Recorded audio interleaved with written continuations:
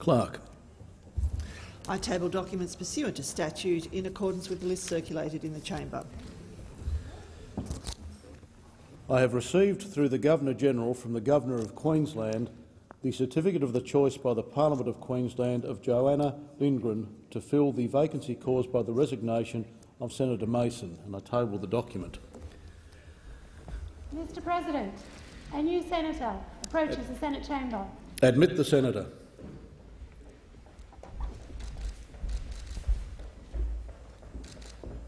Will the honourable senator please come to the table to make and subscribe the oath of allegiance?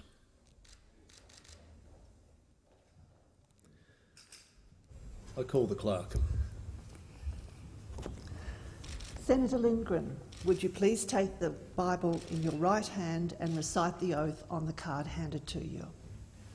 I, Joanna Maria Lindgren, do swear that I will be faithful and bear true allegiance to Her Majesty Queen Elizabeth II, her heirs and successors according to law. So help me God. Senator Lindgren, would you please sign the test roll and the senator's roll?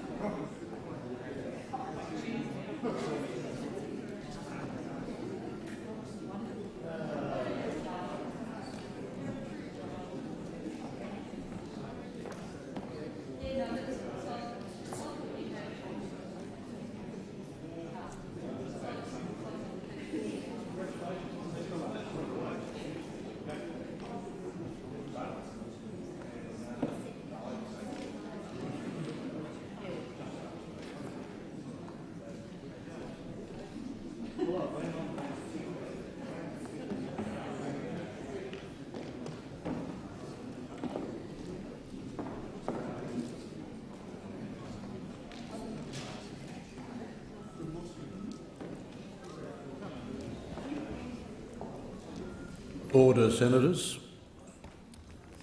I have received the following message from the House of Representatives forwarding the following bills for concurrence. The Tax Laws Amendment Small Business Measures Number 1 Bill 2015 and the Tax Laws Amendment Small Business Measures Number 2 Bill 2015 and I call the Minister. Minister. Uh, Mr. President, I move that these bills may proceed without